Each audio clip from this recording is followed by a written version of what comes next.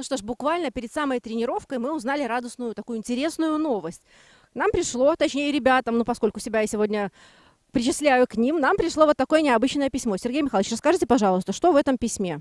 А, Из Испании пришло письмо от нашего фан-клуба, который образовался а, в этой стране, а, с благодарностью за нашу игру, за те эмоции, которые мы им подарили, и с просьбой э, прислать им оригинальные автографы на фотографии нашей команды э, для их э, фан-клуба, для их доски почета.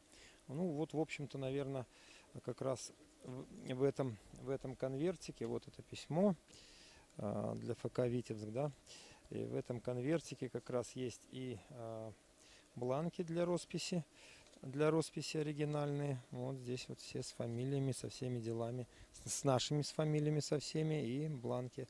Ну и фотографию мы им тоже пошлем, раз такое дело образовалось. Ну что же делать, надо помогать нашим фанатам.